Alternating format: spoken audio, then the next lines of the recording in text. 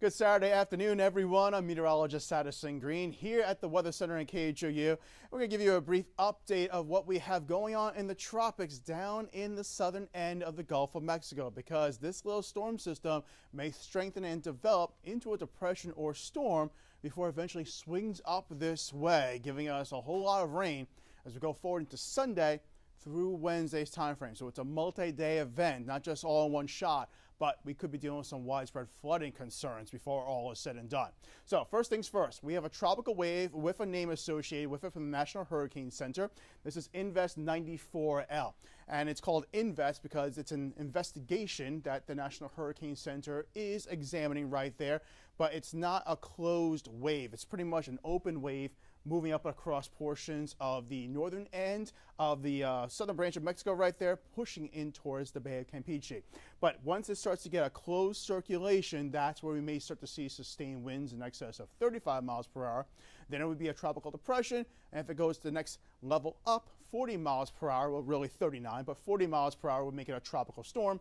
And next name on the, on the list is Nicholas. So infrared satellite imagery right here showing you we have an 80% chance of development in the next two days, 90% chance of the next five days as it starts to move into more favorable areas for possible growth and development. And that system is relatively, let's go ahead and measure it out. Coming in from the Houston metro area, about 700 plus miles away. So it'll do a good amount of traveling across the western Gulf before it starts to impact portions of Texas as well as going into Louisiana as well as you start to make our way in throughout the region. Now, we don't have a forecast cone because we don't have a depression or storm yet from the National Hurricane Center. So we're looking at the various computer models, the spaghetti plots, to get a, a bearing on where we may see this system go once it starts to move away from Mexico. And a lot of the computer models, we're looking at consensus, where a lot of them are agreeing upon.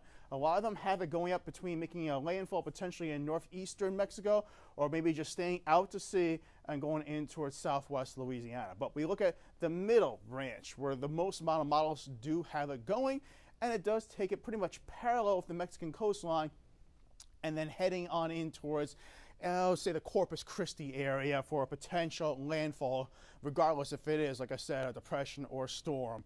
The center of circulation is where we see that potential landfall coming on in.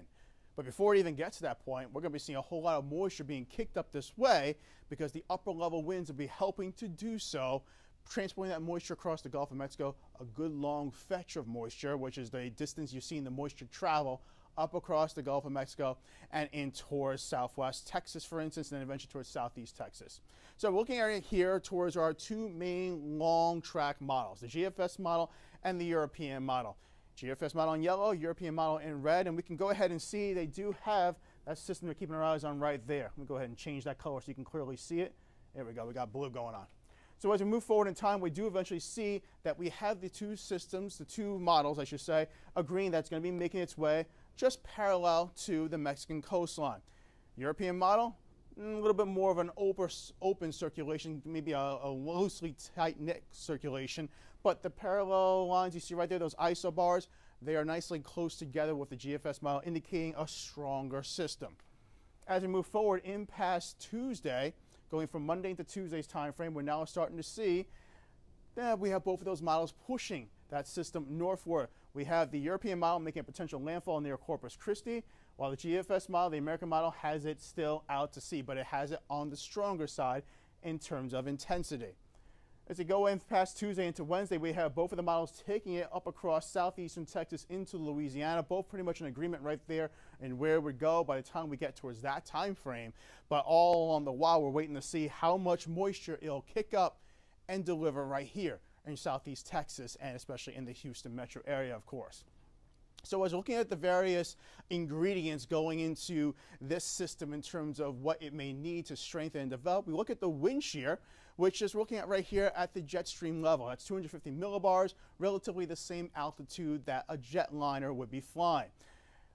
Going throughout this time frame right now, the current time stamp is 5.30 p.m. Central Time. We do have a southwesterly strong wind shear coming on in across this highlighted area, which is where we see the potential for growth and development of this system over the course of the next two to five days. There's the X right there. X marks the spot in terms of where we may be seeing that system pushing on in over the course of the next hour or so. But as we move forward, going past this current time frame in towards the morning hours on Sunday, we now start to see the winds increasing up aloft, coming out of a south-southwest direction. So we still have the system pushing up across the southwestern portion of the Gulf of Mexico, but all the while, we're now having a southwesterly shear trying to slow down the development of any potential depression or storm, but all the while, it's bringing in all that moisture further to the north. Right over here towards Corpus Christi, here's the Houston metro area, here's Lake Charles. So we can see those streamlines indicating where we would have that moisture go, and it's transporting it northward in towards our area, as well as making its way in towards southwest Louisiana. So we have a general idea of where that moisture will be going. It's just a question of how much and since we've been uh, dry the past several days, we've had high pressure sitting around, had a couple of fabulous mornings and evenings, and a couple of warm but relatively comfortable days the past several days in Houston. So the air is dry, the ground is dry, so the ground can absorb a whole lot of rainfall, but we have to saturate the atmosphere first. It's like taking a dry sponge. We have to throw water into it first before eventually you can squeeze that sponge out and get a whole lot of water coming out. Until that happens, you're just trying to saturate that sponge. That's what we're trying to do in the atmosphere right here, or at least we'd like that to not be the case. So we get less rainfall coming on in. Sea surface temperatures are running into the mid to upper 80s. Very warm sea surface temperatures. That, that depth extends down a couple hundred feet. So it's ample supply of fuel for the system to utilize. And we also have a little steering current. High pressure sitting across the southeast. And that's where we do see that general direction of where that system may go down across southern Texas in towards southeast Texas, which of course puts us right in that bullseye. X marks the spot where we could potentially be seeing that system move on in. Olaf faded away. There's a little kind of shadow form or glimpse of itself. Larry pushed up beyond the, bar uh, the banner right there, so it's now fading away and heading into Greenland. But as we go forward into tomorrow afternoon, then eventually the evening hours, we can see right here, this is the European model. We have a closed circulation right there. And we switch this back to red so you can clearly see. We have a closed circulation right there. And the European model has been fairly consistent over the past several runs in where the system has been going. So we're using that one as our guidance right here as just one example to show everybody of where we could potentially see the heaviest rains come on down. So by Sunday afternoon towards Sunday evening, say you're sitting around, you're, you're watching the first Sunday of football, maybe you were at the, uh, the Game Energy Park watching the Jacksonville Jaguars take on, of course, our Texans. You may be leaving the, the park and seeing some scattered showers coming on down as we have some light to moderate rain across the southeastern corner of the metro area. So towards southern Harris County down towards Brazoria County and Galveston County. North and west, you're just seeing cloud cover pushing on in. As we go forward into Monday afternoon, then the evening hours, that's when the heaviest precipitation will be coming our way. We'll be dealing with rainfall rates running about one to two inches per hour as we go forward throughout the day. Sometimes maybe even going to two to three or even three to four inches per rain. It all depends upon where we get this little yellow blob to orange highlighted color coming on in. That's some high rainfall rates. And because it's of tropical in origin, the atmosphere is super packed with moisture, and that's where we can get that easily being squeezed down across a small area for a prolonged period of time. As we go forward from Tuesday into Wednesday, now we have that system. We can still see a closed circulation, although whatever it is when it makes landfall, it'll be weakening gradually over time. So we may just see a remnant low if it does become a tropical storm. But it's pushing in towards the border of Louisiana right there, taking the heaviest rainfall in towards central Louisiana. We have dry air coming on the back end of it, but we'll still be dealing with some moisture being pulled up from the Gulf of Mexico. And you can see right there, there's a nice little convergence barrier right there, right along the coastal area. So that means our coastal counties, Brazoria County, Galveston County, Chambers County, will be still be dealing with some heavy rain by Wednesday morning. Meanwhile, north and west, we're starting to dry out, maybe even towards Cypress, for instance, in Jersey Village. We're still seeing some scattered showers hanging around. By Thursday, that system is pulling out of here. There it is, up near, oh, that looks like central portions of Mississippi. We have dry air funneling on down from a northerly direction, so any little bit of scatter activity you do see will be isolated and only for a few pockets here and there across the metro area. So what does this all mean when it all is said and done in terms of how much rainfall we will be seeing come our way?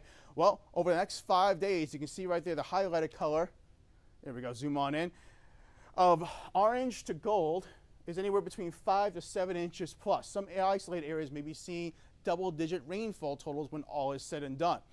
North and west, Bryan College Station, pushing in towards Austin County, uh, going up in towards the Huntsville area, for instance. You guys are seeing the lower end of things, so the flooding chances aren't too much of a concern over that way. But it's pretty much Harris County, south and east. We do have that potential. So for your day today, no flooding concerns at all. It's a marvelous day. It's gorgeous out there. Humidity is slightly kicking up a little bit because we're starting to get a little bit more of a breeze off the Gulf of Mexico. By tomorrow, we do have a chance for seeing some minor flooding coming into the picture. It does increase to a slight, that's a two out of four, for the yellow highlighted areas, which does include our coastal counties. As you move forward past Sunday into Monday, now we're taking that slight category, two out of four, and pushing it further north and west, which pretty much stops just across the northwestern corner of Harris County. So for areas south and east, Fort Bend County, Brazoria County, Matagorda County, all the way up in towards Liberty County and Chambers County, we do see that potential for more widespread flooding concerns. Bear in mind, this is mainly an urban flood event that we are talking about. We have not seen much rainfall at all the past several two weeks or so. So the rivers, the streams, the creeks, the bayous are all at very low levels at the bottom of their banks. The ground, it's pretty much uh, ready to go in terms of heavy rain coming on down. It could quietly absorb a lot coming on across the area. And we also have still the trees, strong root systems. We haven't completely transitioned into fall just yet, so those trees are still hanging on, those shrubberies are still hanging on. So everywhere we can see we do have the chance for really absorbing a good amount of moisture. It's the urban areas, the paved areas, the, the blacktops, the, the roadways, those are the areas where the water will come down and quickly run off. So if you have any drains by you, any sewer drains, any just, you know, your gutters, for instance, make sure they're free of leaves and debris, and that way you won't have that chance for seeing the flooding kick off rather early, and then next thing you know, you have a big problem, and the event has just started. So look right here across your screen if you want to reach out to me for any contact information in terms of what we are dealing with the storm system as we go throughout the day today and tomorrow as well. We're having team coverage starting Sunday afternoon, going in throughout Monday, giving you the latest information about this system and also diving into what we can be expecting for the week ahead. We have a live update coming on the TV side of things at 6 o'clock after the Air Force and Navy game going on here right here on Channel 11, and also later on tonight at 10, I believe 10 or 10:30, 10 o'clock. All right, see you guys then.